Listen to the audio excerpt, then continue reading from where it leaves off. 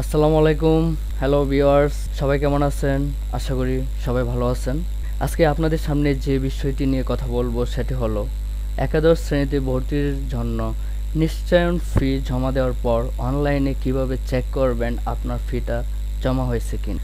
অবশ্যই অবশ্যই ভিডিওটা অনেক গুরুত্বপূর্ণ, কারণ বুঝতে পারছেন নিশ্চয়ন ফি নিশ্চিত না হলে আপনার ভর্তিও নিশ্চিত হবে না। তাই চলুন কথা না বাড়িয়ে কাজে চলে যাই।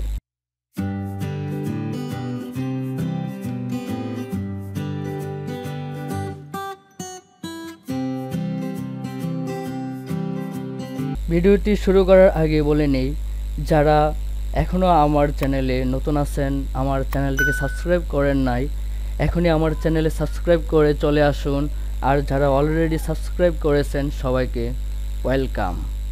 প্রথমে আপনারা যা করবেন, একই ওয়েব ব্রাউজারে যাবেন। তারপর eleven class admission dot gov dot BD এটা লিখে সার্চ করবেন। সার্চ করলে এরকম একটা পেজ চলে আসবে আপনাদের সামনে। তারপর দেখতে পাচ্ছেন ভিউ রেজাল্ট তারপর পাশে আছে view registration payment view registration পেমেন্টে ক্লিক করবেন। এরকম একটা পেজ চলে আসবে। এখানে দেখাচ্ছে check registration payment check registration payment নিচে দেওয়া আছে রোল নং বোর্ড তারপর পাসিং ইয়ার রেজিস্ট্রেশন নাম্বার তো প্রথমে আমরা রোল নম্বর দিব, তারপর বোর্ড ঢাকা হলে ঢাকা সিলেট হলে সিলেট যে যে বোর্ডে আছেন।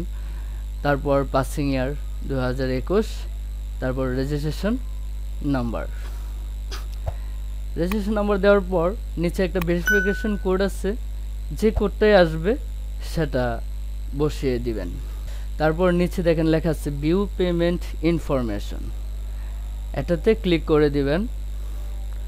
দেখেন ক্লিক করার পরই অ্যাপ্লিকেন্ট নেম চলে আসছে, তারপর এর নিচে দেখেন, লেখা আছে আপনার নিশ্চয়নে টাকা জমা হয়েছে।